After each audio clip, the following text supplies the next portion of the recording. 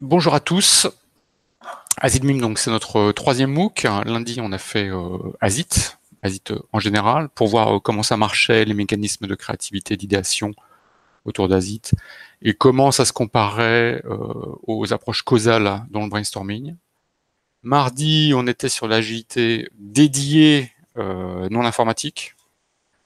On a passé beaucoup de temps mardi à parler euh, non pas de l'agilité comme on la voit sur Wikipédia avec tout ce qu'on connaît et ce qui marche, on a plutôt dit bah ça ça marche mais il faut vraiment le faire, ça ça marche moins bien hors informatique pour telle raison, notamment tout ce qui est issu du manifesto ainsi de suite. Et, euh, ça s'est pas mal passé. Donc on va voir euh, pas de tour de table, malheureusement. Merci à tous d'avoir le micro de fermé, ça c'est génial. Si vous avez une question qui vous brûle bon, bien sûr, vous la posez, il hein, n'y a pas de souci. Il y aura une petite présentation. Aujourd'hui, ça va être autour de comprendre et construire un business model innovant ou un business model pour une innovation. On va voir la petite différence entre les deux, on va voir comment ça fonctionne. Mais là, on va vraiment apprendre de A à Z. Le business model, attention, c'est pas business plan. J'ai eu des conversations dans la semaine avec des gens qui me disent ah c'est super, euh, euh, moi justement les, modèles d'affaires, les business plans, euh, ça m'intéresse beaucoup.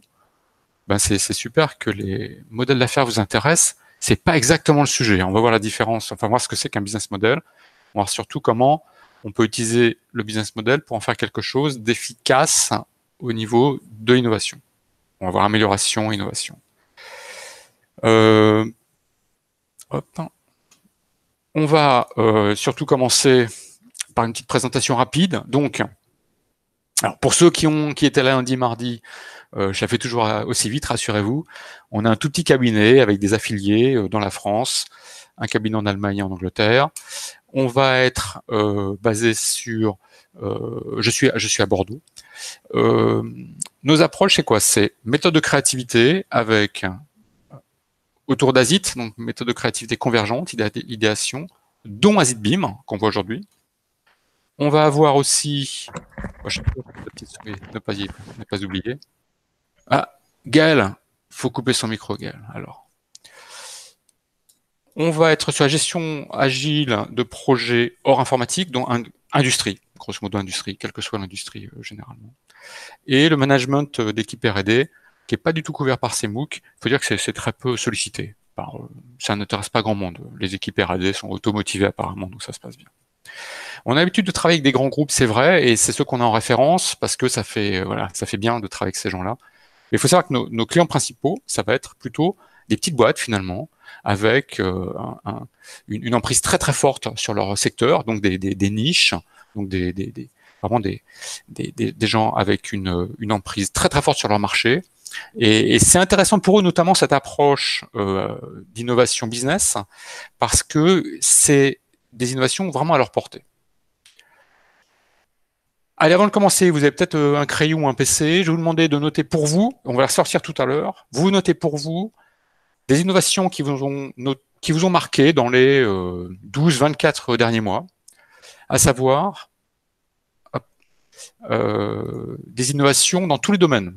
Donc ça peut être dans votre entreprise elle-même, ça peut être dans votre vie de tous les jours, ça peut être autour de votre famille, de vos loisirs, de vos confinements, de ce que vous voulez. C'est vraiment l'idée, c'est notez-vous des innovations, une, deux, trois, cinq, comme vous voulez. On se laisse pour ça. OK. Et on se les utilise tous les jours. Alors déjà, c'est quoi un business model? Un business model, donc, ce n'est pas un modèle d'affaires. Un business model, si vous regardez sur Internet, il va y avoir euh, plusieurs euh, mécompréhensions. Euh, la plus fréquente, c'est d'associer les deux mots, business et modèle entre eux, et d'essayer de comprendre ce que ça peut vouloir dire, que franchement, c'est plutôt euh, un néologisme. Quoi. Quand on va sur Wikipédia, on a une définition qui est pas top top, mais qui parle déjà quand même de valeur ajoutée d'une entreprise. Bon, déjà, il y a une mécompréhension, je pense, du business model. Le business model, c'est pas autour d'une entreprise, c'est autour d'une activité. Donc, une même entreprise peut avoir plusieurs activités avec, pourquoi pas, plusieurs business models. Euh, une entreprise comme SNCF, on se doute bien qu'elle n'a pas un seul business model puisqu'il y a plusieurs activités. Euh, Hélène, je vais vous couper le micro, si ça ne vous gêne pas. Hop. Voilà, c'est fait. Donc, nous, on va plutôt se euh, référer à l'excellent livre sur le business model. Pourquoi excellent? Parce qu'on n'a rien fait de mieux, nous. On s'est greffé sur ces travaux-là. Euh, on connaît des gens qui ont participé, il y a plus de 200 personnes qui ont participé à ce, livre-là, qui est vraiment une, référence, qui est la référence, je pense, en business model. Et euh, sa définition est beaucoup plus cohérente. C'est un modèle économique décrit les principes selon lesquels une organisation crée, délivre et capture de la valeur. Donc crée, délivre et capture de la valeur. Bah c'est top, c'est top. On s'en tient là. Pas plus de définition que ça. On va partir là-dessus. Et donc, dans ce business model, on va identifier des composants. D'accord? On est capable de faire une photo et de remplir des cases. Alors, je fais ça pour, pour les gens qui connaissent déjà le business model. Bon, on fait vite. Et pour les autres, on n'est pas obligé de rentrer vraiment dans le détail. Qu'est-ce qu'on propose exactement? Cette notion de valeur, c'est un truc qu'on va offrir. Offrir non, mais mettre à disposition avec un moyen qu'on va décrire justement. Euh, qu'est-ce que l'activité va apporter à vos clients? La deuxième partie de la photo qu'on va faire, ça va être sur justement ces clients qu'est-ce qu'ils sont, actuels ou visés, comment on les décrit, comment on peut se focaliser dessus notamment? Les canaux de distribution dans un premier temps, on verra qu'après il y a la communication qui est séparée, mais vraiment comment je livre mon service? Euh, il y a des choses qui sont achetées par Internet, très bien, bah, ça va être Internet livraison par exemple, ça va être ça le canal pour ces, cas-là. La relation client, elle, peut être autre. On peut avoir une relation client dématérialisé, numérique, et un service complètement physique. Donc la relation client, elle, peut être dissociée, et elle est dissociée dans ce, dans ce business model euh, Canvas. La source de revenus, on voit vente, abonnement, location, licence comme exemple. On peut en imaginer d'autres. Hein. Et des combinaisons de tout ça. Le freemium, par exemple, que certains connaissent, c'est une combinaison d'un petit peu tout ça. Ressources clés. Quelles sont les ressources humaines financières et autres que nécessite l'activité? C'est intéressant. Les partenaires, c'est proche. Et les activités, ben, qu'est-ce que je fais effectivement dans le cadre de mon business pour opérer cette activité-là? Et je vais en avoir des coûts. Hein, tous les coûts, ça me donne les coûts. Donc un business model, ça identifie Bonjour Florence, ça identifie une activité. Une activité, c'est donc pas un chat. Une activité, c'est euh, il y a des gens qui font des choses et il y a des gens qui sont en relation de clientèle avec. Si on peut faire un business model, à ce moment-là, on peut faire un canvas. Quand il y a un business model, quand il y a une activité, il y a forcément un business model et donc un canvas. Donc le canvas, graphiquement, il est comme ça. Il est pas mal graphiquement parce que on se rend bien compte des choses. Alors, moi, j'ai l'habitude de le voir, peut-être que vous aussi. Notamment, j'ai vu qu'il y avait Stéphane, hein, avec qui on a euh, co-créé euh. Euh, euh donc Stéphane Allais, bonjour Stéphane. Les, les, neuf éléments graphiques comme ça, quand on les voit souvent, on, est habitué, mais on va, on va les décrire pour voir un petit peu ce que c'est là-dessus.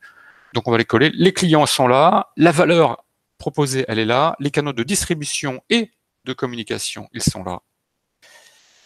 Ça nous donne des revenus et pour faire tout ça, il nous faut des ressources, des activités, des partenaires qui nous génèrent des coûts. Sachant que des coûts peuvent être aussi générés par des relations. Mais bon, voilà, on a un petit peu droite-gauche.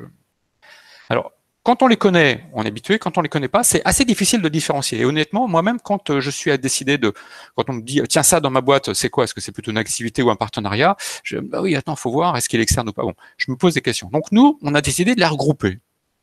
Les regrouper pourquoi? C'est qu'en respectant leurs différences, on s'est dit finalement, on va, on va les manipuler ensemble. Donc c'est une liberté qu'on a prise, on l'assume. Ça nous permet de simplifier et d'exploiter plus facilement derrière sous forme de méthode de créativité. Vous allez comprendre comment ça marche. Donc les clients, ils sont, ils sont gardés en tant que tels et, séparément, tout comme l'offre, les revenus et les coûts.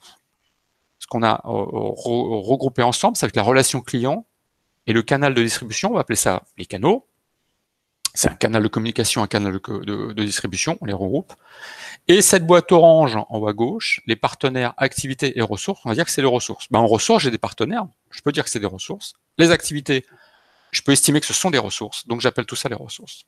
Donc ça me, simplifie un petit peu plus, j'ai pas, pas à me poser la question et je vais mettre ça dans les boîtes.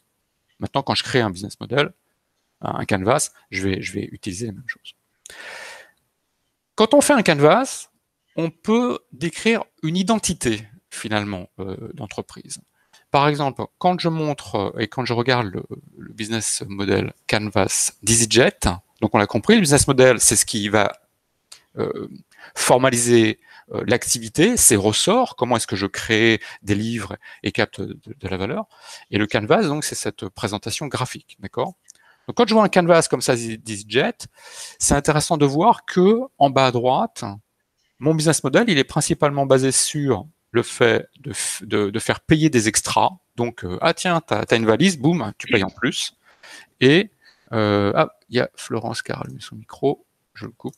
Voilà. Euh, maintenant, si vous voulez allumer le micro pour poser une question, euh, pourquoi pas. Euh, et donc, en fait, on voit que le business model va me dire, voilà, j'ai tout ça ici, j'ai tout ça là, voilà comment ça marche, voilà ma cible, ainsi de suite. Donc, normalement, je dois être capable de reconnaître un business model, même si je vois pas, enfin, de reconnaître une entreprise qui a un business model fort, même si je vois pas la marque. On va essayer de faire ça pour, pour voir si ça marche. Si, par exemple, je vois ce business model, quelle entreprise ça peut être? Donc, c'est une entreprise qui va avoir comme partenaire clé Microsoft, des gens qui font du hardware, des gens qui s'occupent de télécom et des gens qui permettent de payer en ligne. En activité, j'ai du développement de logiciels, euh, des services euh, clients euh, et des serveurs. ma proposition de valeur, c'est quoi? C'est manifestement, je fais des choses autour de la communication et je vends aussi du hardware. Très bien. Conférence call, très bien. Euh, donc en décrivant comme ça tout le business model, page par page, vous avez peut-être, euh, il y a peut-être des gens qui ont trouvé, qui veulent mettre sur la chat euh, l'entreprise qu'ils ont peut-être trouvé. Non, personne ne voit quelle entreprise ça peut être Ouais, Skype, Alex, ouais. Axel, pardon. Axel, ouais, c'est Skype. Donc, c'est plus EasyJet. Voilà. Non seulement on n'était pas dans le même domaine, mais au fait, on voit qu'ils ne gagnent pas l'argent de la même façon. D'accord? Ils ne mettent pas les mêmes choses à disposition. Si je vous montre celui-là, donc ça, manifestement, ils ont comme stratégique partenaire une maison mère et des petits lieux. Ils ont comme clients euh, des familles, des amis et, euh, et des gens, peut-être des retraités, des seniors, je ne sais pas. Leurs revenus, ils les font sur la vente de choses à emporter, de nourriture importée, et principalement sur l'immobilier. C'est quoi comme boîte ça? Si vous l'avez, vous, vous me le tapez? Je vais passer en chat pour voir. McDo, absolument, absolument Charlotte. Euh, c'est McDonald's. Alors c'est intéressant de voir que McDonald's ne gagne pas son argent principalement sur la vente des burgers ou sur les licences, mais sur l'immobilier. Euh, quand on a vu le film d'ailleurs, on voit c'est assez étonnant cette histoire de boîte. Quoi. Donc c'est marrant parce que le business model il n'est pas toujours en phase avec l'image qu'on peut avoir, mais il est important que eux soient au courant de leur propre business model parce que c'est ça qui leur fait gagner de l'argent. Donc la vente ici, euh, la vente, l'immobilier. Un dernier pour s'entraîner, c'est, euh, je donne pas de détails, vous le voyez comme moi. Quelqu'un va me le taper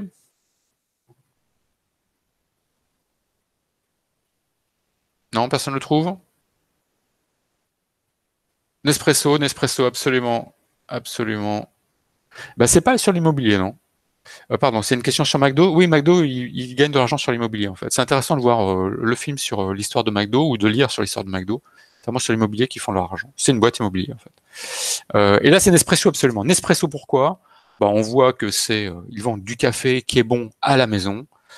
Et c'est une boîte qui fait ses revenus principalement non pas sur les machines, qui est le petit sachet, mais sur les euh, capsules qui sont le gros sachet. Et aussi, ce qui est intéressant, c'est leur système de distribution, avec la recréation de boutiques un peu de luxe. On a reluxifié le, le, café à l'extrême, avec ces boutiques vraiment euh, top notch euh, sur ce segment. Alors donc, à la suite de ça, on pourrait se dire, tiens, ouais, ok, business model canvas, on voit comment ça marche, on voit que ça peut identifier une entreprise. Manifestement, c'est réservé aux grosses boîtes. Euh, que nenni, que nenni. On va avoir des toutes petites entreprises, des TPE, pourquoi pas, comme une boulangerie, avec une offre, avec des clients, avec une relation client, j'aime bien la relation client, c'est on papote, et des distributions vente directe. Le business model, il est basé sur une vente à l'unité, même si c'est en gros à des, à des professionnels, choses comme ça, on est toujours à l'unité, on n'est pas par baguette, par exemple, des choses comme ça. Et les partenaires, les ressources sont donc partenaires activités et ressources. Celles-ci, les fabricants de farine, fournisseurs de farine, fabrication vente. Et les coûts sont, bah les coûts c'est simple, hein, les coûts c'est grosso modo tout ce qui va être, c'est la somme de tout, hein. euh, c'est la, dernière colonne qu'on a à faire. Avec le bail, les ingrédients et les divers salaires. Pour McDo, film fondateur, dispo, je crois, sur Amazon Prime. Merci, merci de l'info, absolument. C'est le, titre du film. Il va falloir associer des marques et des business models. Donc ça, c'est un petit jeu. Alors, on va pas le faire. On va pas le faire pourquoi? Parce qu'il faut être en présentiel, faut former des groupes, ainsi de suite. Donc on aurait pu former des groupes, mais c'est, c'est pas intéressant. Je vais, vous, raconter comment, ça marche et vous, vous allez essayer d'y jouer. Alors déjà, c'est un groupe qu'on trouve sur le AzidBeam. Dans AzidBeam, il y a un onglet Doc, et dans Doc, on a, des documents, dont le business model Canvas qu'on a vu là, euh, qu'on peut remplir, dont euh, ce jeu. Ce jeu, c'est quoi? C'est en forme six groupes. À chaque groupe, on distribue discrètement les six feuilles. Donc il y a un groupe qui a une feuille, un autre groupe qui a une deuxième feuille, ainsi de suite. Il y a six feuilles, six groupes. On en distribue une à chaque groupe. Et chaque groupe est découpé en deux. Euh, chaque feuille, pardon, est découpée en deux. Chaque feuille est découpée en deux. Et la partie du haut, donc E1 dans cet exemple, le groupe va la garder. Et la partie numéro 2, celle du bas, c'est une partie qu'elle va donner à un autre groupe qui, lui demande. Et dans le groupe numéro 1, dans, la partie numéro 1, il y a la description d'une particularité du business model. Et l'idée, c'est que la feuille du bas correspond à la description d'un autre, d'une autre entreprise que la leur. Eux cherchent une entreprise qui correspond à sa description faite en 1, et ils vont donner à quelqu'un la partie du bas qui correspond à une autre carte dans un autre groupe. Donc, les descriptions dans la partie 1 que tout le monde a, c'est on cherche une entreprise, donc eux cherchent une entreprise qui n'achète pas les infrastructures qu'elle met à disposition. Elle n'achète pas les infrastructures qu'elle met à disposition. Donc il faut, faut, essayer d'imaginer quelle entreprise ça peut être. Il y a un deuxième groupe qui a comme mission de trouver une entreprise qui perd de l'argent lors de la vente de ses machines. Donc c'est une boîte qui vend des machines et c'est une boîte qui, perd de l'argent à chaque fois. Là, euh, le groupe 3 se base sur une offre innovante. Donc, ils, prônent, ils disent, nous, on est vraiment dans l'innovation, toutes nos machines sont dans l'innovation. Le groupe suivant, le, groupe suivant va chercher une entreprise qui livre des colis le jour même dans certaines métropoles, alors euh, Paris notamment. Le, le, groupe E va avoir en recherche des tarifs très variables et des coûts cachés pour une entreprise. Et le dernier groupe se repose sur ses utilisateurs pour son offre. C'est l'entreprise qu'il cherche. Et voici toutes les entreprises. Et voici toutes les entreprises qui sont à disposition des groupes. Et donc, chaque, le groupe 1 va chercher quelle carte correspond. Donc, n'achète pas ces infrastructures qu'elle met à disposition. Ça peut être quelle entreprise? On a PlayStation, Amazon, YouTube, Dyson, Airbnb et EasyJet. Vous pouvez jouer mentalement. Vous pouvez taper si vous êtes rapide. Airbnb, absolument. perd de l'argent lors de la vente de ses machines. C'est qui? Sachant que c'est une forte caractéristique. A. A, c'est-à-dire. Oui, A2. A2. Dyson. Non, non, non, Dyson, Dyson ne perd pas. Oui, absolument. PlayStation perd de l'argent. Non, Dyson ne perd pas d'argent. Enfin, Dyson n'a pas l'intention de perdre de l'argent quand ils vendent une machine parce qu'ils n'ont rien pour se refaire derrière. Une fois qu'on a vendu l'aspirateur, on ne va pas vendre de sac. Donc Dyson, c'est typiquement une boîte qui ne peut pas se permettre au niveau du business model de perdre de l'argent sur ses ventes de machines. À l'inverse, PlayStation peut tout à fait. Euh, la PlayStation 1, quand elle est sortie, euh, c'est comme si, quand vous l'achetiez, on vous faisait un cadeau de 250 dollars. Et il fallait acheter des jeux pour que PlayStation se refasse de l'argent et, euh, et qu'on gagne de l'argent à ce moment-là. Euh, se base sur une offre innovante. Donc c'est un Dyson, Dyson, comme Nespresso, Polaroid, ça effectivement, le modèle B, perdre de l'argent, c'est absolument comme, euh, comme les gens qui vendent des, des, consommables derrière. Sur une offre innovante, des gens l'ont dit, c'est Dyson, absolument. Dyson, lui, dit, voilà, mon, ventilateur, il est innovant, mon aspirateur, il est innovant, c'est vraiment son, euh, son moto, son, approche. livre un colis le jour même, dans certaines métropoles, on le voit, dans Amazon, hein, il n'y a pas beaucoup de choix, absolument, absolument, tout le monde là, nickel. Des tarifs très variables et des coûts cachés, on l'a évoqué tout à l'heure, EasyJet, absolument, absolument. Et pour finir, se, pose, se repose sur des utilisateurs pour son offre. F2, F2, c'était F2 EasyJet, absolument. Et là, on est en YouTube, absolument, C2. Nickel. Donc, on voit que, effectivement, on peut décrire une entreprise à succès par un, axe, un choix de modèle de vente modèle de vente, dont on peut faire un business model, dont on peut faire un canvas. Donc c'est intéressant comme ça de vous dire, et moi ma boîte elle est basée comment?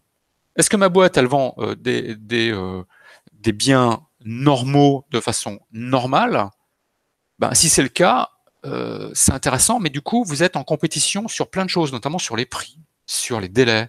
Et vous êtes une entreprise qui est peut-être un peu, un peu stressée, un peu. Euh, et avoir un business model différenciant comme ça, pour pas dire innovant, peut permettre de sortir son épingle du jeu. Et on voit qu'on va avoir donc des business models qui vont partir d'une façon de vendre conventionnelle et ou un produit innovant. Comme vous l'avez compris, je regarde là parce qu'il y a le deuxième écran où je vous vois vous. Hein. Euh, donc, si on cherche euh, une entreprise, un segment, une activité qui vend de façon traditionnelle un produit traditionnel, on peut par exemple tomber sur la boulangerie. Nickel. Si on veut maintenant un produit traditionnel vendu de façon innovante, on peut tomber sur EasyJet, on peut tomber sur Airbnb, on peut tomber sur tous ces gens qui partent euh, d'une technologie existante pour avoir un twist de, modèle de vente et euh, faire euh, leur, leur, beau jour grâce à ça. Une façon de vendre traditionnelle pour un produit innovant, là on est dans l'ampoule LED. Et on voit qu'en fait une ampoule LED, c'est une, une, technologie qui a été innovante, mais qui est vendue de façon tout à fait classique en lieu et place des ampoules à, filament. Nespresso, c'est à la fois innovant, ils ont breveté, le brevet maintenant n'est plus d'actualité, mais c'était un brevet et c'était euh, un modèle de vente en même temps. Et ce qui est intéressant, c'est que quand on mixe les deux, à la fois le brevet et euh, enfin le brevet, le produit innovant et la façon innovante, des fois ça peut clasher, des fois ça peut être un peu trop pour le client, Là, ça s'est très très bien passé, l'accueil a été euh, formidable, ils ont très bien communiqué, ils ont bien géré tout ça. Maintenant, je vais vous demander un petit peu de temps pour vos innovations, celles qui ont été listées en début de session. Vous savez, on a dit, tiens, on, en note quelques-unes. Vos innovations, voir lesquelles euh, peuvent être placées dans quelle catégorie. Par exemple, les innovations, normalement, vous n'avez pas, vous n'avez pas euh, listé de choses qu'on met dans tradi tradi. Vous n'avez pas listé de façon de vente traditionnelle et produits traditionnels. Ça ne correspond pas à une innovation.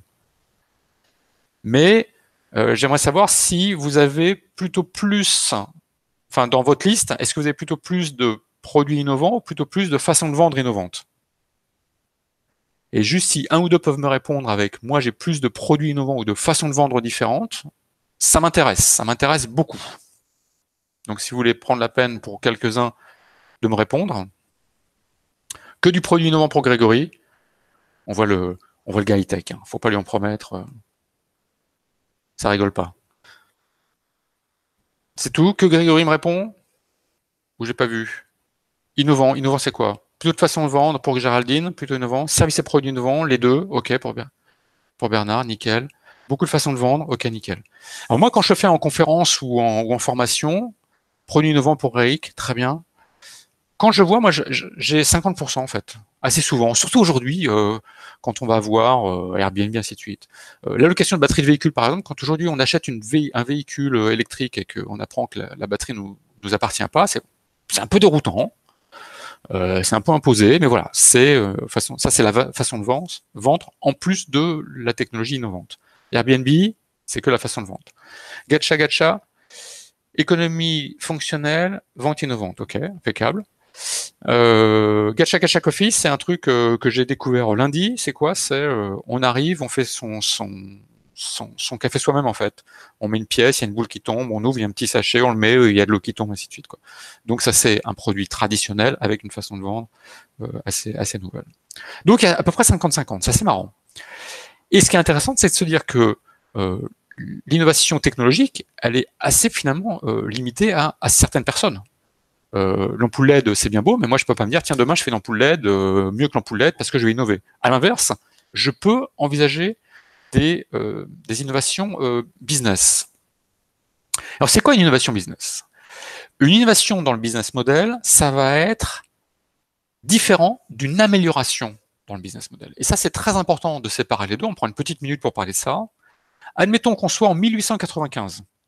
On est dans le monde du rasoir monde du rasoir euh, pour hommes. Si je veux améliorer, je fais mon canvas, et comme le dit le, livre, je vais lister mes points faibles, et ces points faibles, je vais les améliorer, et je vais, décider de, ben mon, mon, rasoir, je vais le fabriquer un peu moins cher, je vais faire une meilleure communication, une meilleure distribution, et je vais avoir une amélioration de mon business model, donc Pourquoi pas une amélioration des ventes, on l'espère. Je suis toujours en 1895, mais au lieu d'améliorer mon business model, je vais le triturer bizarrement et je vais faire un truc un peu improbable. Un truc un peu improbable qui est de, en triturant bizarrement ce business model, je décide de vendre mon rasoir à perte et de gagner de l'argent sur les lames. Donc on l'a vu avec la PlayStation, on l'a vu avec euh, tous les exemples qui ont été cités, dont euh, Nespresso, ainsi de suite. C'est l'une des premières fois où ce business model-là est en, place, et on se rend compte qu'il y a eu une espèce de, grand changement. On peut partir pour les deux cas du canvas, d'accord? On connaît son canvas, mais la, finalité n'est pas la même. Dans un cas, j'essaie d'améliorer, dans l'autre, d'innover. Ce qui est intéressant, c'est que innover son canvas ne veut pas dire, pardon, améliorer son canvas ne veut pas dire améliorer son business. Et c'est ça qui est intéressant.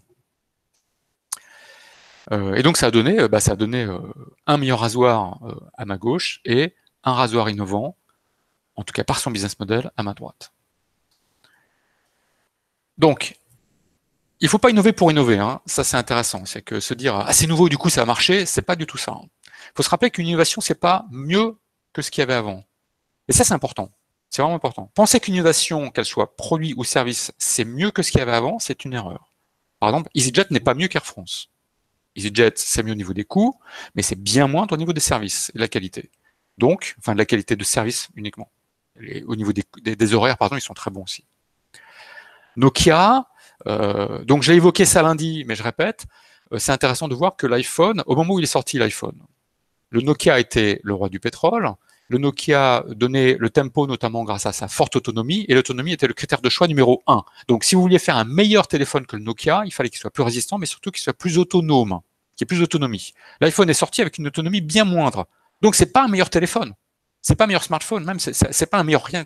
C'est juste, il y a du plus, il y a du moins. Il y a du plus, désirabilité, fonctionnalité, il y a du moins, en autonomie notamment, et en fragilité surtout.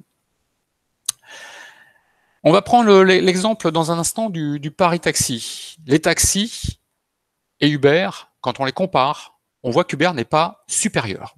Uber est plus cher, par exemple, aux heures creusées, aux heures pleines, ainsi de suite, quoi.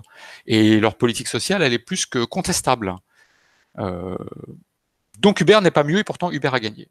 Donc une amélioration n'est pas à la hauteur d'une innovation la plupart du temps. On va, avant de voir ce détail euh, du taxi en, par point de détail, euh, je sais pas comment on peut changer sur ce slide-là en fait. Euh, je ne savais pas trop si j'allais le laisser ou pas. Bon, je l'ai laissé. Je vais vous montrer deux, deux innovations, une en business, une en technologie. À gauche, innovation produit, technologie pure, ampoule à LED. On la connaît, et à droite, l'anti-café, notamment celui de Bordeaux, où euh, quand on arrive, en fait, on, ne paye pas ses consommations, on paye le temps passé. Donc euh, j'achète une heure, et pour 5 euros, je bois ce que je veux, je mange ce que je veux dans, ce qui est disponible.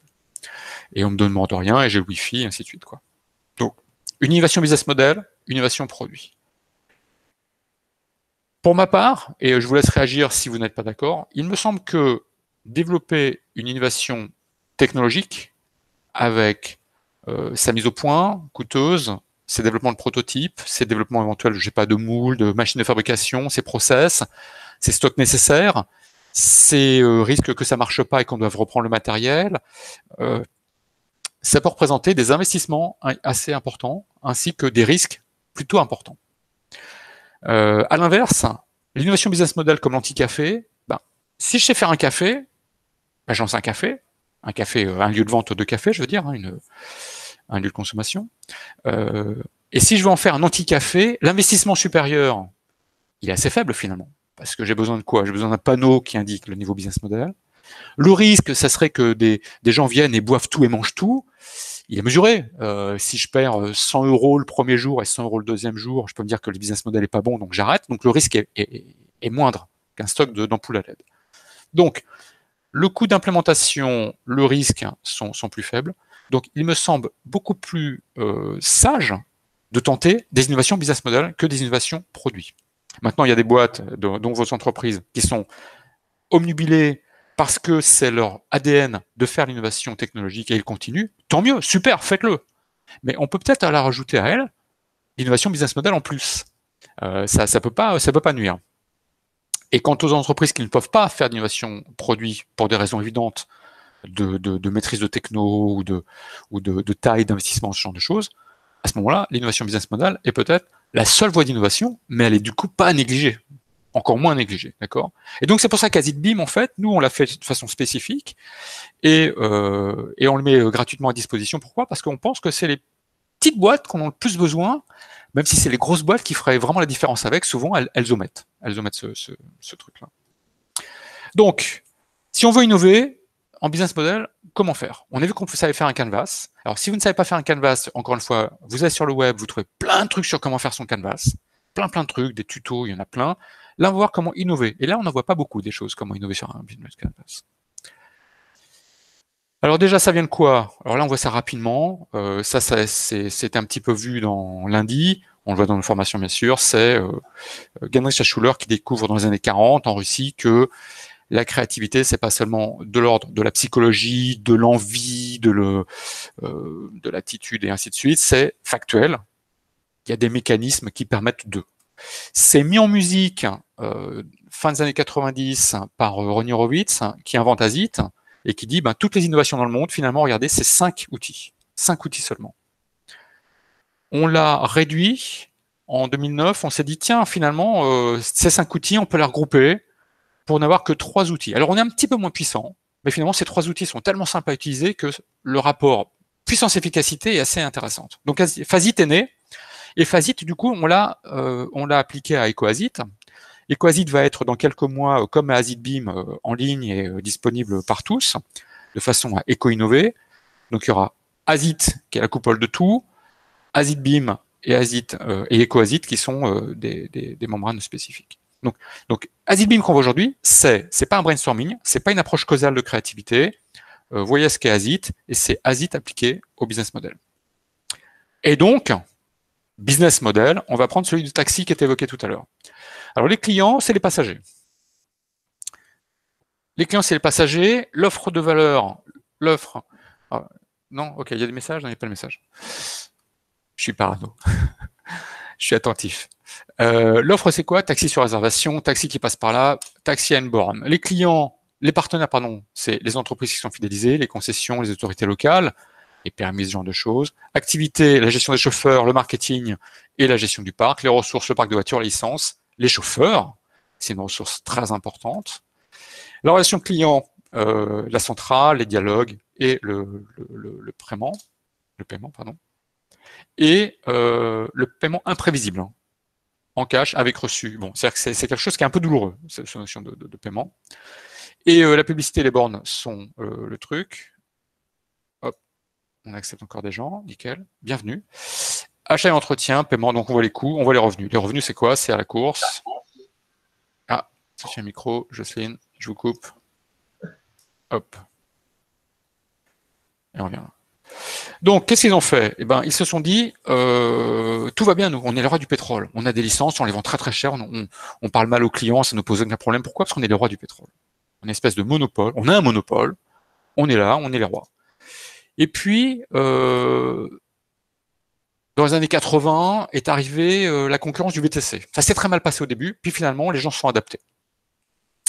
la concurrence était sur la qualité. C'était pas une offre innovante le, VTC. Le VTC, c'est le véhicule particulier, le chauffeur particulier, je sais plus comment on dit ça, enfin le VTC, véhicule particulier. Et, euh, et euh, c'était, on fait comme le taxi, mais en plus cher et en mieux. Donc cette approche qualité taxi, finalement, c'était pas les mêmes marchés, et ça se passait plutôt bien. Le souci, c'est quand Uber arrive, parce qu'Uber, c'est une innovation forte. Et donc, les taxis ont dit faut réagir vis-à-vis d'Uber, il faut réagir de façon forte. Et notamment à Paris, les taxis parisiens se sont regroupés, ils ont fait une application. Pourquoi ils ont fait une application? Parce qu'en fait, dans leur business model, les canvas étaient les, problèmes étaient les suivants. On a trop peu de bornes, donc il n'y a pas beaucoup d'endroits où appeler les taxis finalement. Donc on va arrêter les bornes, à la place on va mettre une application. L'application en plus ça va tout résoudre. Donc on copie Uber et ça va être, ça va être super. On ne sait pas où sont les taxis. Donc pareil, on va avoir une application qui dit où sont les taxis, comme Uber, nickel. Et on ne sait pas si le taxi accepte la carte. Alors, on n'allait pas forcer le taxi à prendre la carte quand même. Hein. Ils font ce qu'ils veulent. Hein. Mais on va dire si tel ou tel taxi prend ou pas la carte. Eh bien, nickel. Donc, qu'est-ce qu'on fait? Ben, on, modifie du coup, on améliore le modèle. On améliore le modèle, donc relation client, on a une application. Les coûts, ben zut, on impacte l'application. Euh, le paiement qui était un petit point noir, on filtre pour voir les taxis avec les cartes bleues, nickel. Le taxi, il est géolocalisé maintenant, super, tout va bien. Mais on fait une croix sur quoi? On fait une croix sur ce qui faisait notre force finalement. Les bornes et les taxis qu'on peut appeler aux bornes. Et ça, c'est un pari risqué sur les clients. Alors, est-ce que c'était une bonne idée? Euh, Certains pensent que non. Pourquoi? Parce que finalement, les gens qui n'utilisaient pas Uber, par exemple, les seniors qui n'utilisaient pas Uber, ben, ne peuvent plus utiliser euh, les taxis parce qu'ils ont démonté, ils ont démonté les bornes. Et donc ça a coûté très cher ce démontage. ils se sont rendus compte de leur de leur bêtise, donc ils ont gardé l'appli bien sûr, mais en plus ils ont remis les bornes. Donc un, bon move.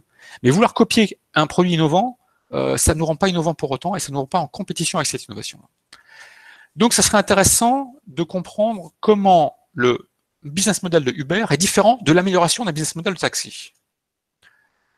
Un business model Canvas identifie des créer d'activité. On peut modifier un Canvas. Modifier un Canvas, ça va modifier le business, mais améliorer un Canvas, ça ne va pas forcément améliorer le business. Ça, c'est très important de le comprendre.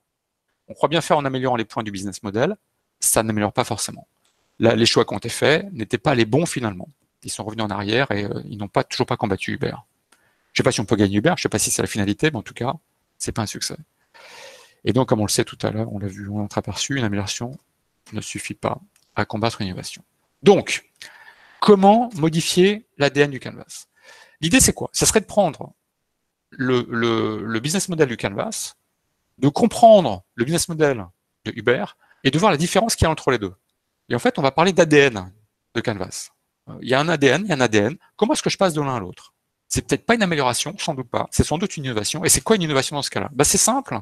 Dans ce cas précis, c'est dire que le client, le chauffeur, qui était principalement un coût avant, devient maintenant partenaire et client.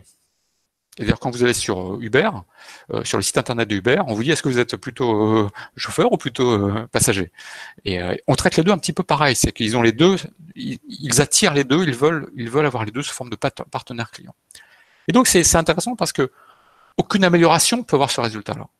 Donc une innovation n'est pas une amélioration, c'est une petite rupture, un petit truc qui un petit triturage un peu bizarre. Et on le fait comment? En fait, on part du taxi, on va manipuler l'ADN, on va te voir euh, si on crée des choses comme Uber, ou mieux qu'Uber, ou différent d'Uber. Et ça se fait comment? Bah, Ça se fait par des questions. On va se questionner sur notre, sur notre canvas, on va se dire, mais tiens, si on faisait ça? Tiens, si on faisait ça? Et c'est vraiment des questions comme ça ouvertes, de façon à ce que on se dise, ah non, on peut pas, ah mais si, si on le faisait, boum, bingo. OK? Donc, vous avez peut-être deux fenêtres, deux, écrans, je sais pas quoi. Je vous invite, pourquoi pas, à aller sur euh, azibim.com. On voit euh, les, euh, on va, on va, on va voir en même temps ici et vous pouvez le voir en live. Mais grosso modo, on apprend sur azibim.com que ces trois mécanismes qu'on voit suffisent à expliquer toutes les innovations de business model possibles. Vous me montrez un business model, je vous dis, ben oui, ce business model, c'est celui-là, avec cette modification-là, et cette modification-là, c'est un des trois outils qu'on voit là qui manipule l'ADN du canvas. Le premier, c'est action. Comment un élément actuel d'une canvas permet d'atteindre l'objectif, éventuellement le dupliquant, pour modifier, éventuellement en les modifiant ou en les faisant varier? Deuxième, c'est décalage. C'est comment je bouge un élément du canvas. Par exemple, le chauffeur, je le fais bouger de là à là. Ah, bah ça, c'est aussi une modification ADN qui peut donner des choses intéressantes. Et le troisième, c'est la suppression. Là, je vais vite, hein, mais vous le voyez sur Internet, euh, euh, vous, pouvez le, renoter, et on va, on va les détailler de toute façon. Euh, la suppression, c'est je supprime soit totalement, soit une partie de chacun des éléments, un par un, pour voir comment ça marche. Donc, action, je vais élément par élément de mon canvas, me demander comment ça, ça pourrait m'améliorer finalement, m'aider à atteindre mon objectif, qui peut être par exemple développer du business décalage. Comment, en bougeant mes trucs là, voir en dehors du business model, voir ainsi comment est-ce que je pourrais euh, créer, euh, atteindre mon objectif, comme créer du business, et suppression, comment est-ce qu'en supprimant des choses, je pourrais euh, créer du business? Suppression, c'est le plus bizarre. Hein. on comprend action, action, on a l'impression qu'on va améliorer. Bon, c'est pas le cas, mais on a l'impression, donc ça nous, on est assez confortable avec ça. Décalage, on a eu l'exemple du business taxi, on se dit pourquoi pas. Suppression, c'est le plus bizarre, donc on va le, on va le détailler un peu. Donc suppression, c'est je supprime des parties des éléments du canvas. Donc quand on fait AzilBeam, c'est bien d'avoir son canvas, donc c'est bien de savoir le faire, et c'est bien d'avoir à côté, parce qu'on va élément par élément se dire, tiens, comment quand je supprime un client, alors je vois ce que j'ai mis dans client, Est-ce que c'est le particulier? Est-ce que là, ça fait... Voilà, je vois client, mais j'écris toujours le mot client, mais je vois ce que ça peut être grâce à mon canvas sur le côté. Comment est-ce que supprimer un client peut booster mon activité? Alors, supprimer un client pour booster son activité, ça peut faire peur et ça peut aller, euh, ça peut nous faire penser qu'on est à, l'encontre hein, de, ce qu'on cherche. Alors, est-ce que c'est possible? Mais En fait, si je vends un magazine uniquement aux fans de hamster, je me supprime tous les fans, tous les non-fans de hamster.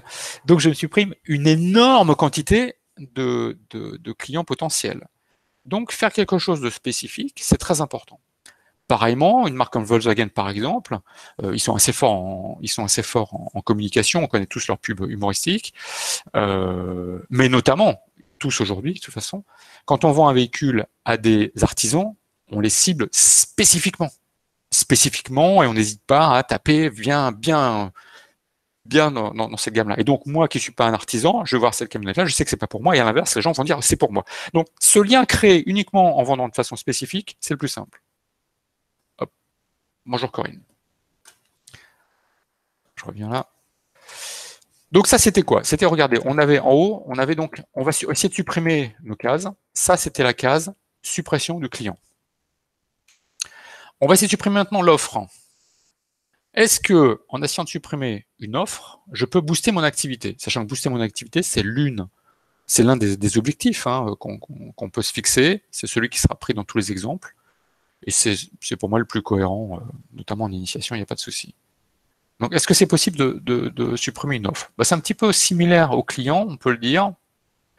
Euh, on a essayé de le rendre plus, plus différenciant ici. Si par exemple je suis un magasin de roses, de, de, fleurs, que je ne vends que des roses, euh, pourquoi vendre que des roses? Ben, Parce que je m'achète une image de spécialiste. si je veux acheter une rose, je vais à ce magasin-là.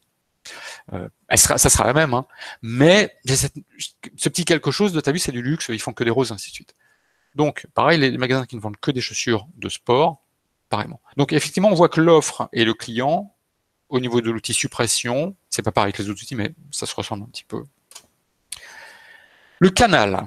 Comment supprimer un canal peut booster mon activité? Waouh Donc, mon canal, ça peut être la livraison, par exemple, ou ça peut être la communication, d'accord? Donc, les films qui ne sortent pas au cinéma, mais uniquement en, canal euh, Netflix, par exemple, c'est un exemple. Ça fait que Netflix, finalement, par le fait de ne pas vendre au cinéma, a plus de valeur.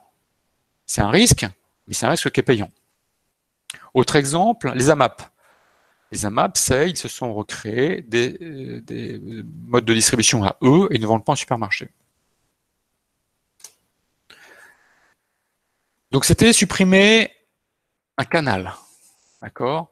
On peut avoir supprimé un canal de communication en disant on ne peut pas nous communiquer avec nous autrement que par email, par exemple, ou, uniquement par euh, téléphone payant. Voilà. Tout ça, ce sont des suppressions euh, de, canaux. Supprimer un revenu. Alors, est-ce que supprimer un revenu, c'est faisable? Est-ce que supprimer un revenu, c'est un modèle viable? Euh, il y a des exemples qui marchent pas mal. J'ai parlé tout à l'heure de l'anti-café. L'anti-café, c'est marrant de, de, dire, tiens, je ne paye pas ma consommation. C'est effrayant pour beaucoup de gens, mais pourquoi pas? Pourquoi pas. Et euh, quand vous faites installer une nouvelle box, par exemple Internet, euh, vous ne payez pas l'installation.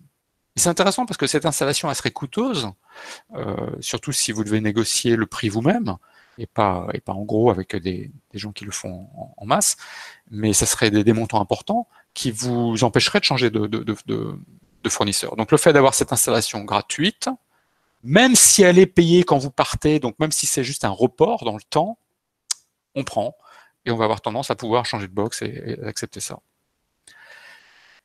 Supprimer une ressource. Alors, supprimer une ressource pour booster l'activité, attention, il ne faut pas tomber dans le piège de supprimer pour gagner, par exemple, euh, ah oui, tiens, super, j'ai moins de voitures, du coup, j'ai moins de voitures à acheter. Non, ça, ça n'apporte pas du business, ça fait des économies.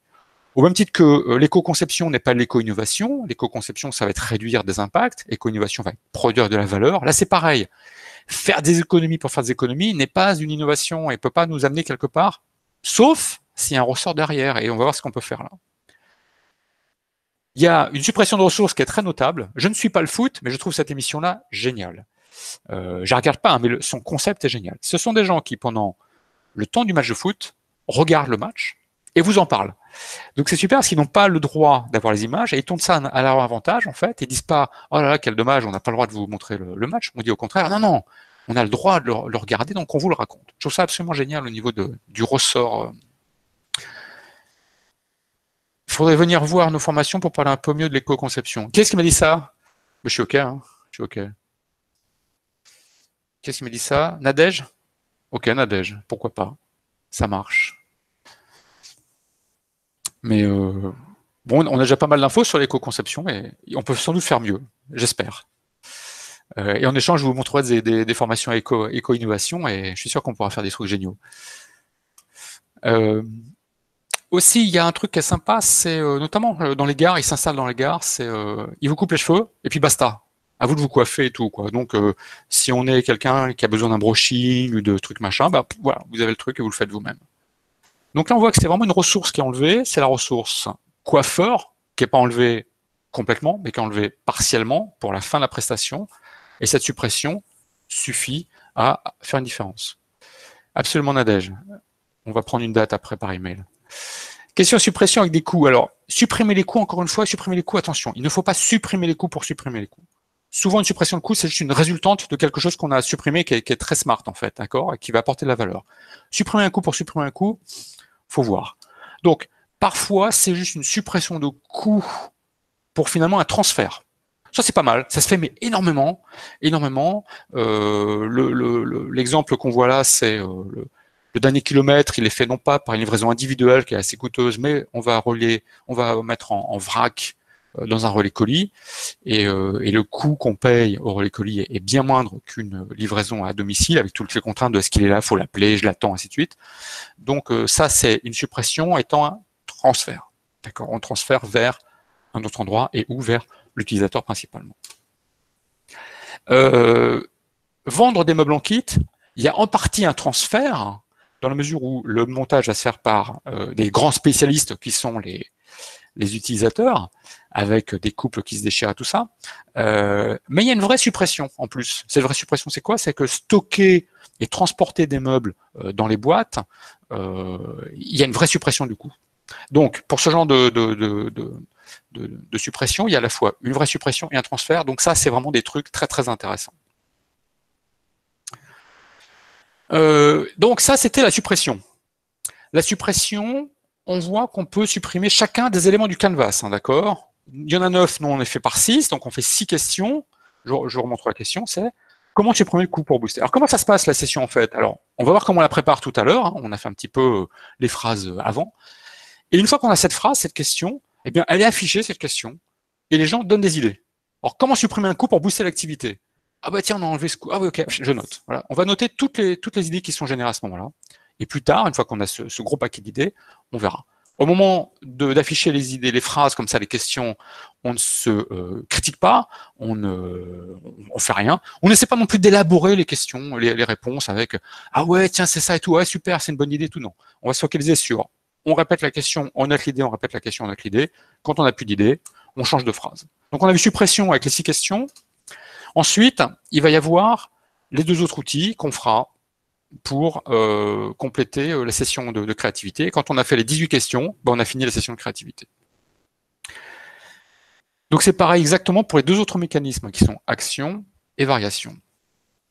Dans ce format euh, de, présentation, on ne va pas les détailler, mais on va voir comment les utiliser. On va voir une page euh, conclusion et après cette petite conclusion sur la partie théorique, euh, je vous invite à soit continuer à regarder la présentation, soit pourquoi pas passer directement sur AzitBeam pour voir l'outil. Alors, il est relativement simple et très efficace de travailler avec le business model. OK. On peut améliorer au niveau un business. OK. AzitBeam permet de triturer le business model pour innover. Ça, c'est la base. Sachant que parmi les triturations et les idées générées, il y en a qui sont bonnes, il y en a qui sont pas bonnes. Qu'importe, on les note toutes et on verra après celles qu'on garde et celles qu'on veut, qu'on veut développer. Donc, on peut imprimer un canvas vierge, pourquoi pas. Diagnostiquer des points d'amélioration en ligne, on voit ça dans un instant. Travailler sur le canvas pour l'améliorer, pourquoi pas. Vous n'entendez plus rien? Ok, si vous n'entendez plus rien, c'est peut-être de, ma faute, non? Mon micro est coupé. Attendez. Est-ce que d'autres personnes m'entendent? Oui, tout le monde m'entend? Ok, on nous entend, super. Donc je reprends. Oui, si vous n'entendez pas, s'il y a un problème d'enregistrement à ce moment précis, ben, c'est que malheureusement, il euh, euh, faut faire euh, ressortir et, et rentrer. Hein. C'est une spécificité. Merde, comment je reprends ma présentation Ok. Désolé, hein, j'ai un petit peu... Faut enlever ça au montage. Je vois ma tête là, je vois plus l'écran. Pourquoi? Vous voyez mon écran ou pas là? C'est pas très pro tout ça, hein? On voit l'écran? Super, bon moi j'enchaîne. Moi je vois ma tête, c'est pas très grave. Euh, donc, l'idée c'est quoi? L'idée c'est... C'est pas très grave, mais ça m'énerve. Voilà, je vois ma présentation maintenant. Je vois les gens, super. Donc, euh, on peut donc améliorer son canvas, parce que pourquoi? Parce que je dis pas qu'il faut pas améliorer son canvas, hein, c'est intéressant, mais je dis que je rappelle simplement que améliorer un canvas ne peut pas forcément améliorer le business. Donc euh, c'est un faux, c'est un faux ami d'améliorer le business, le, canvas, mais on peut le faire. Et on évaluera nos idées avec euh, les critères BIM qu'on voit tout à l'heure. Euh, voilà. Donc c'est pas une vraie formation, mais surtout ce qui est intéressant, c'est que vous pouvez démarrer. C'est là, c'est à disposition. On va voir comment ça marche. Hein. Hop, je reviens là. Donc, il reste du temps, bien évidemment qu'il reste du temps, évidemment, donc on y va. Admettons qu'on a envie de euh, booster la vente de parasols. Donc ça, c'est un petit euh, quelque chose qui est sur le, sur le site aussi, au niveau des, jeux proposés dans azitbeam.com slash, vous allez dans l'onglet documents. Et euh, on a ce business model qui est fait. Alors, je vais aller sur le site et je vais voir comment je peux démarrer tout ça. Non, d'abord je détaille le business model et je détaille le business model. Donc, je suis sur une plage, je loue en période de peut-être toute l'année, un, lieu idyllique, je, loue toute l'année, pourquoi pas, euh, des, euh, des, parasols. Et donc mes clients, c'est quoi? C'est les estimants qui sont à la plage, les familles, les seniors. Mon offre, location de parasols avec la mise en place du parasol, qui est une prestation. Publicité euh, sur les cabanes, sourire et bronzage, c'est ma relation client. Mes canaux de distribution sont j'amène et je l'ouvre. Revenu, location à l'heure et pourboire. Coût, achat, concession, entretien et salaire. Sachant que mes partenaires, ça va être fabricants, autorités locales, pour les autorisations par exemple. Location d'entretien sont mes activités. Et mes ressources, c'est concession autorisation, cabane pour entreposer le matériel et parasol. Nickel. Je passe sur le site. Et je fais ça comment? Bon, Je vais là. Je passe sur le site.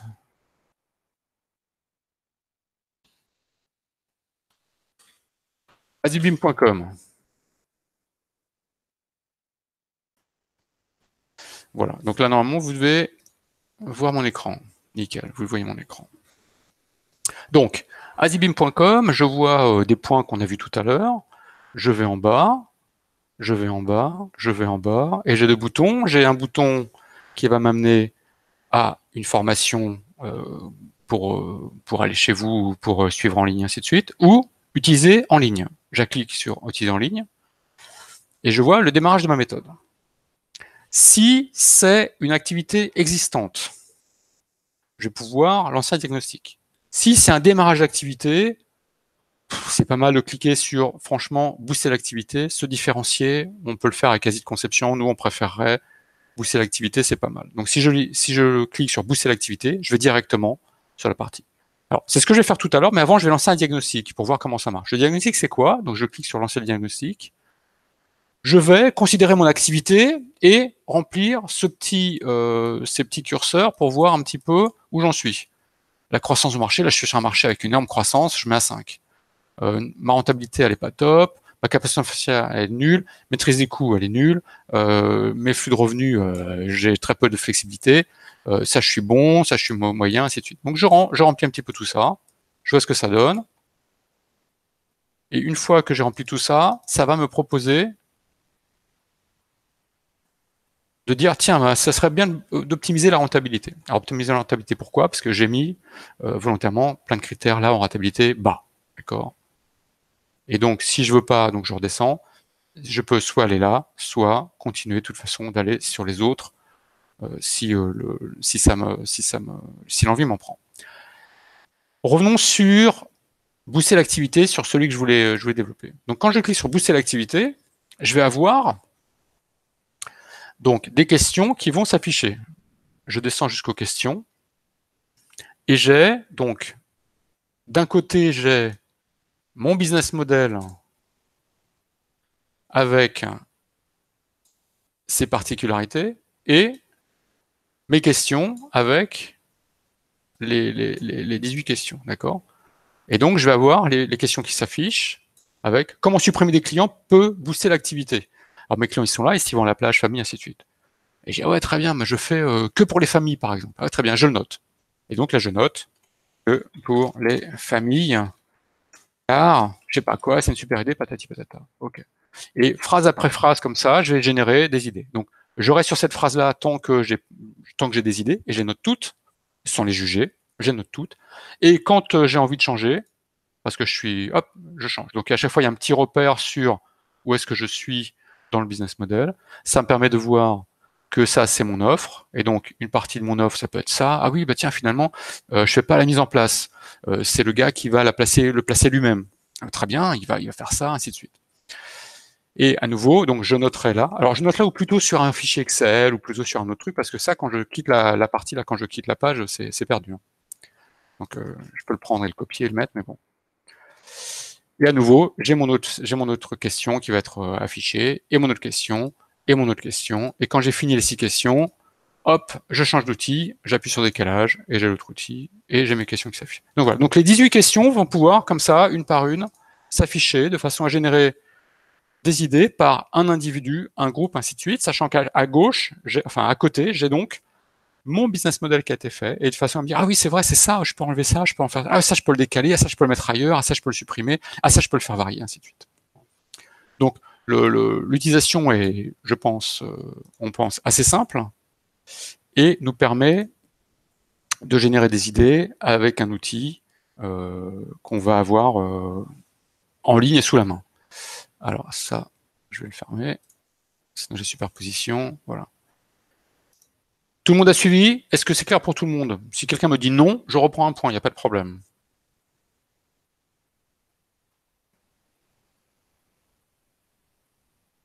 Il y en a un qui me dit oui. Alors si un, me dit oui, très clair, super, nickel. Donc on va enchaîner là-dessus. On va enchaîner là-dessus, donc je vais un petit peu le redire. On va voir comment on évalue, et vous allez voir, tout va se, tout va se finir, euh, va se finir simplement. Donc, j'ai le business model. J'ai choisi l'objectif booster l'activité. Pourquoi booster l'activité? Parce que franchement, si vous questionnez, vous faites ça et ça marche. Euh, voilà, ça répond à plein de plein de défis. Et on peut commencer la session zit. Donc, les questions visent un objectif qu'il faut définir. Donc on comprend bien que parmi ces objectifs, parmi ces objectifs, on a euh, des choses qui vont être euh, soit un choix, soit un diagnostic. Ok, on l'a vu tout à l'heure. Sachant que améliorer le produit, très honnêtement, si le diagnostic vous propose d'améliorer le produit, le mieux c'est de quitter AzitBeam. AzitBeam, c'est vraiment modèle économique et c'est pas trop produit. Donc, euh, dites-vous que là, vous faites Azit Conception, c'est bien, bien, bien, bien mieux. Améliorer, développer l'humain, c'est quoi? Développer l'humain, c'est peut-être que, euh, notamment dans les valeurs éco, l'humain euh, prend de plus en plus de place et c'est tant mieux. Et développer l'humain, c'est pas c'est pas les faire grossir, on est d'accord. Hein, c'est comment est-ce que ça peut améliorer les conditions de travail, le bien-être, ainsi de suite. C'est ça, développer l'humain quand vous avez développé l'humain en sortie diagnostique, euh, faut le faire. Hein. Enfin, c'est vraiment il y a un truc quoi. C'est comment il y a un truc. Moi, j'ai jamais vu, mais euh, j'espère ne pas le voir en fait. Donc là, admettons que dans le diagnostic, encore une fois, volume était le plus bas. J'ai, euh, on propose d'augmenter les ventes. Ça paraît normal d'augmenter les ventes au niveau chiffre. Donc, comment ça se passe? Encore une fois, c'est mathématique. Il y a trois outils, il y a six éléments, ça fait 18 questions. C'est tout. Donc le début de question, c'est toujours le même par outil. Et à chaque fois, on prend chaque partie. Et la fin de la question, c'est quoi? C'est mon objectif. Mon objectif qui est choisi en fonction de ça. Donc cette page-là, en fait, on se l'imprime. Elle est disponible aussi sur les docs, hein, on se l'imprime et puis on a constamment la méthode en tête. Pourquoi pas? Ou sinon, on l'a en, en ligne encore une fois. Quand on travaille sur une phrase, on travaille sur une phrase, sur la phrase est affichée. Je vous le rappelle, on donne, chacun donne ses idées, et c'est intéressant d'avoir un groupe un peu mixte autour de la, de la table on peut le projeter à l'écran. Chacun donne ses idées, on note toutes les idées.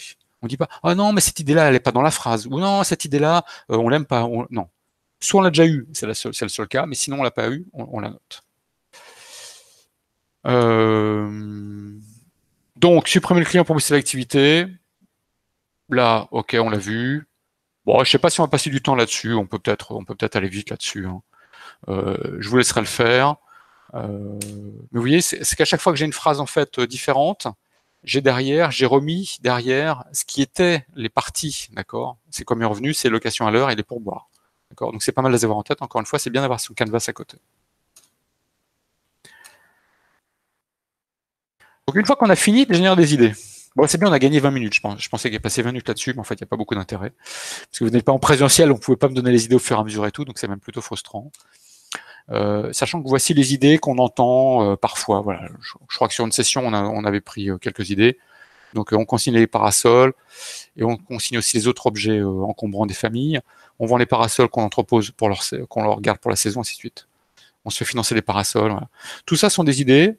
C'est pareil, c'est sur le site, hein, dans les documents. À la fin du jeu, il y a, y a ces exemples-là. Et ce qui est intéressant, c'est qu'en fait, à chaque fois qu'on fait l'exercice, le jeu, on a d'autres idées en fonction du groupe, en fonction de l'humeur, en fonction de choses comme ça. Donc c'est vraiment sympa. C'est vraiment sympa. Et ce qui est marrant, c'est qu'on se dit euh, vente de parasol, c'est complètement obsolète. Alors, comment, combien de temps on, en général on prend pour les 18 questions? Alors, ce qui est marrant, c'est qu'en fait, avec Azit, on sait qu'une session Azit pleine, c'est 3h30, on va dire, une, 3h, 3h30, une demi-journée, on va dire. Euh, ça, c'est une grosse session. À la fin, vraiment, on a tout fait, on est, on est exténué. Fazit, c'est une à deux heures. Azit Beam, c'est hyper variable. C'est hyper variable. Pourquoi? Parce que finalement, quand on fait une session Azit, les gens sont très impliqués, mais quand on fait du Azit Beam, parfois, à tort, hein, mais j'ai constaté que des fois c'était considéré comme, je sais pas, un peu, euh, allez, on va faire un truc fun, un peu luxe, un peu, on n'en a pas besoin, quoi. Euh, et donc ça peut être très très court. Les gens euh, balayent les, trucs comme ça, puis ils ont vaguement des idées. Donc ça c'est pas un bon fonctionnement, mais ce dysfonctionnement est amplifié par le fait que les gens, les gens sont pas toujours impliqués, contrairement à avec Azit, on va dans un problème, il y a un problème qui est bloquant, euh, on doit, voilà, on met plus de temps. Donc, je dirais euh, une heure à peu près, une heure sur Azit Beam. Euh, sachant qu'on n'a que 18 phrases, euh, Azit, on a 25 phrases au minimum, ainsi de suite, bon bref. Évaluation des idées. Donc c'est intéressant, on critique pas les idées. On les critique pas, on les note toutes. Donc il y a bien un moment où il faut les évaluer, où il faut les trier, les mettre à la poubelle éventuellement et savoir. Azit, EcoAzit, AzitBeam, Fazit, tout ça. On a, la même on a la même démarche. On ne cherche pas la bonne idée, l'unique bonne idée à développer. On va plutôt voir ce qu'on peut faire de nos idées. Certaines idées sont mauvaises, on va rien en faire, mais les autres, on va dire, tiens, celle-là, ça serait bien de l'essayer à court terme, celle-là, c'est plutôt à, développer, celle-là, c'est plutôt à tester, celle-là, c'est une idée dangereuse, celle-là, on veut pas la faire, mais on la dépose, voilà, ça, ça peut arriver, euh, ce genre de choses.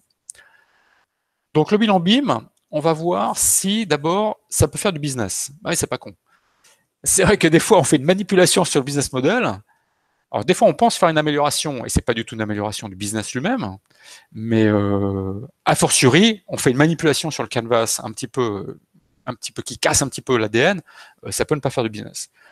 On peut se donner du temps pour évaluer ce critère-là des fois, mais au feeling on va mettre une note de 0 à 3. Le deuxième c'est I comme innovant. Est-ce que c'est innovant? Euh, L'innovation, c'est pas toujours positif. L'innovation, ça peut être bien pour communiquer, ça peut être bien pour euh, avoir une différenciation, ça peut être bien. Ça peut aussi euh, nous couper de pas mal d'habitudes. Par exemple, si vous avez une application alors que vous avez, vous lancez une application alors que votre, votre secteur c'est uniquement les seniors, bah, faut envisager d'avoir les seniors plus ces nouveaux gens avec les applications. Mais voilà, eux, ça va leur créer une, une cassure qui peut ne pas être très constructive. Donc, si c'est innovant et compatible avec notre entreprise, donc innovant mais compatible par exemple avec les seniors, si on est avec les seniors, à ce moment-là, on va le garder. Et cette, ce dernier critère, c'est est-ce que c'est un modèle? Est-ce que c'est en phase avec nous? Est-ce que c'est durable? Est-ce que c'est en phase avec les valeurs euh, qu'on veut porter, et ainsi de suite. Et donc, chaque idée, on va faire BM. À chaque fois, on va mettre une note de 0 à 3. Et donc, on va bien voir qu'on va avoir des idées genre 3, 3, 3. Ouais, génial. Des idées 3, 0, 3, ainsi de suite. Et puis, on va, on va décider en conséquence. Donc, une innovation business, elle est peu risquée. On l'a vu pourquoi. Généralement, il y a moins d'investissement, généralement, il y a moins de risques. Euh, elle demande généralement moins d'investissement qu'une R&D, donc moins d'investissement en tant que tel, mais surtout moins d'investissement qu'une R&D. Convient à tous les domaines, techno ou pas, et ça c'est important parce que l'innovation technologique, par définition, elle est assez liée à la technologie. Euh, là, on peut dans tous les domaines. C'est-à-dire que le simple fait d'accepter les retours gratuits, ça change complètement le business. Or, il n'y a pas de nouvelle technologie. Simple à générer avec AzitBeam. On l'a vu, ça me paraît assez simple. Même en l'expliquant comme ça à des gens à distance, voilà, ça peut, ça peut se passer.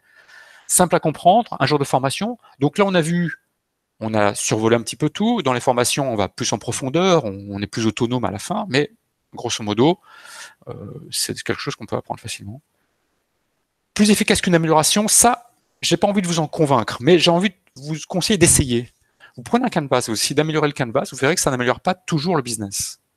Et vous faites Acid Beam derrière, vous allez voir que vous allez avoir des nouvelles idées. Ces nouvelles idées ne sont pas forcément toutes meilleures, mais quand on a plus de nouvelles idées, ça nous permet de faire des choix peut-être plus. Euh, voilà. On a plus de choix, quoi. Plus efficace en brainstorming, ça on a vu ça notamment lundi, et puis on, le, fait, ça, ça va compléter l'approche brainstorming qui est une approche causale. Rapide à utiliser, session de 1 à 2 heures, d'accord Moins d'une heure, c'est que c'est que les gens n'ont pas très envie ou que ou qu'on ne s'est pas donné la peine de rester assez longtemps sur une, sur une phrase. Quand, alors vous y voyez plus clair, quoi, avec BIM, vous y voyez plus clair dans les idées générées. Oui, pardon, BIM c'est après, c'est l'évaluation. Et on peut décider par soi-même, sachant qu'une fois qu'on a fait le BIM, il n'y a pas de notion de, de pondération, de multiplication ou de choses comme ça, d'accord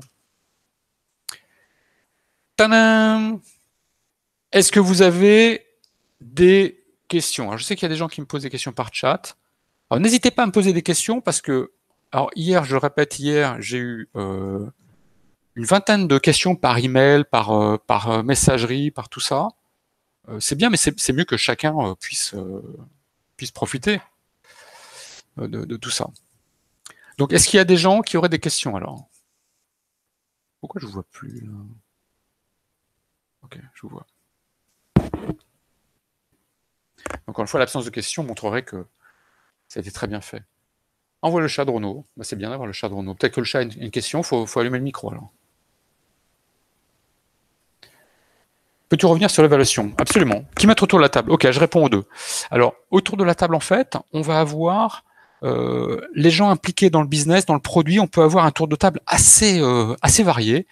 Euh, petite boîte, le patron, toujours toujours le patron, pas essayer de faire en sorte qu'il y ait un ou deux élus euh, dans une boîte de 10 personnes qui vont après présenter leur super idée, tout ça.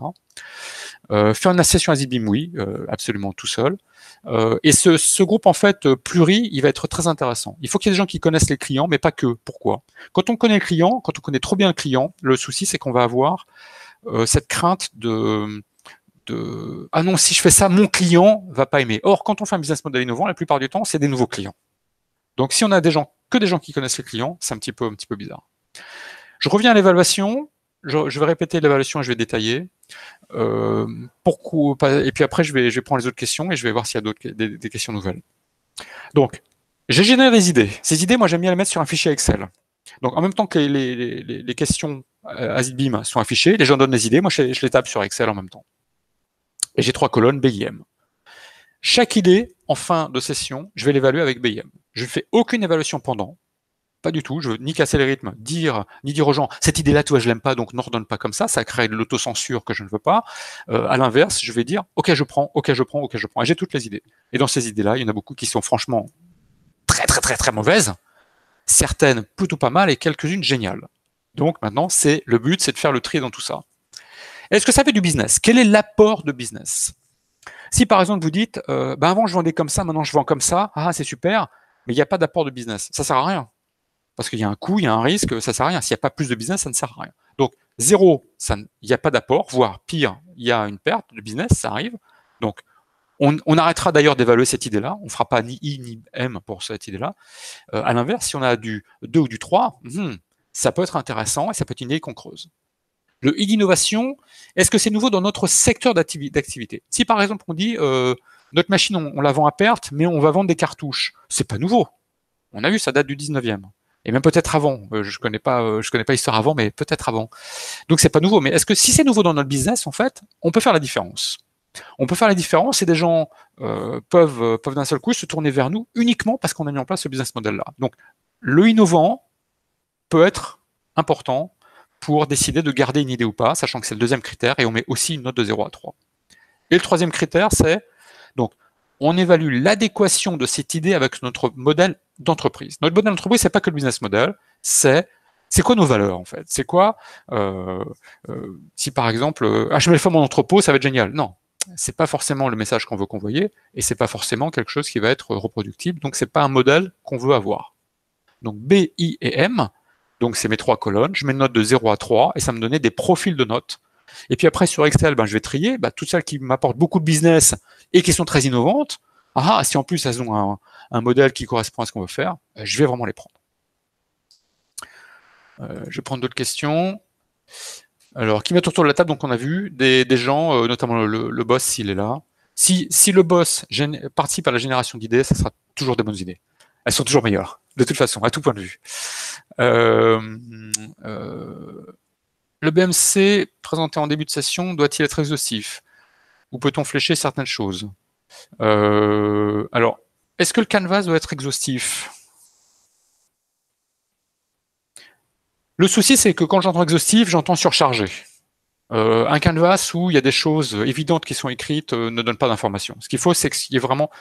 Ce qui est bien, c'est quand le canvas capture vraiment euh, l'essence de l'entreprise. Quand on a fait celui de la boulangerie, on peut passer des heures à le remplir, ajouter des choses pour le rendre exhaustif. Je pense pas que ce soit nécessaire ni même souhaitable. Je préfère qu'il soit représentatif. C'est plus important, d'accord? Euh, je ne peux pas répondre à peut-on flécher certaines choses, je, ne comprends pas. Euh, vous pouvez prendre le micro hein, si vous le faites. Hein. Est-ce qu'on peut faire une session AzitBeam seul? Oui, absolument. On peut faire une session AzitBeam seul. À la base, Azit, c'était pour être seul. Nous, on l'a beaucoup développé pour que ça fasse en groupe. Il est beaucoup plus efficace, mais seul, ça marche. Le souci, c'est qu'il faut connaître le business. Parce que quand vous avez client, faut que vous ayez en tête soit un canvas représentatif, soit, euh, soit euh, la, connaissance en fait de, la chose. Euh, faut-il avoir des experts de chaque zone du canvas pour faire le bilan des propositions? Non, vous voyez, le, bilan, c'est quoi? Si c'est le bilan, si c'est le bilan avec BIM que vous faites, vous, vous faites avec ce que vous voulez hein, maintenant. Mais si c'est BIM que vous choisissez, en tout cas en pré-bilan, euh, bah, quelqu'un qui connaît le business actuel et son apport potentiel de la nouvelle idée, ça suffit. Si en plus il est capable de dire que c'est innovant ou pas par rapport à notre secteur, ça suffit et quelqu'un qui connaît les valeurs, ça suffit. Donc pratiquement une personne peut suffire pour faire BIM. Hein. Euh, comment on l'applique dans un projet de création d'entreprise? Alors ça c'est intéressant. Alors les autres questions sont intéressantes aussi, mais je ne l'ai pas évoqué, c'est intéressant parce que je ne l'ai pas évoqué encore. Euh, donc quand on est en entreprise, en fait, on peut prendre un business model du leader du marché. Je sais pas, je vais faire une pizzeria par exemple. Pizzeria, je peux dire, tiens, je, vais faire comme Domino, mais en mieux que Domino ou euh, innovant par rapport à Domino. Donc je prends le canvas de de, domino, parce que je vais pas me battre sur les pizzas. Ça serait bizarre de me battre sur les pizzas. Ou encore une fois, nous c'est Asie de conception. Je me base, je fais, je fais des pizzas, euh, que l'ananas ou des trucs comme ça, pourquoi pas. Et euh, mais si je veux me battre sur le business model, donc je fais le canvas et je peux tenter de l'améliorer ou je peux l'innover. Donc je prends le canvas de mon concurrent. Moi je suis pas existant, mais mon concurrent est existant. Ou je fantasme mon propre business model en disant bon, je vais faire ma boîte comme ça, mais j'ai envie de la rendre innovante et je fais Azibim dessus. Et d'un ce coup, j'ai des trucs intéressants. Surtout, l'avantage, c'est que si j'ai pas, euh, si j'ai pas de, euh, de boîte déjà faite, l'avantage, c'est que j'ai rien à changer. Euh, j'ai juste à établir un nouveau truc. Et, et c'est pas mal, en fait. Du coup, c'est pas mal. où j'en suis? De la croissance externe. Alors, la croissance externe, ça va être un petit peu différent. La croissance externe, ça va être si par exemple j'ai une idée business qui me paraît tout à fait intéressante, qui me paraît innovante, qui me paraît dans mon modèle, mais que je ne sais pas faire.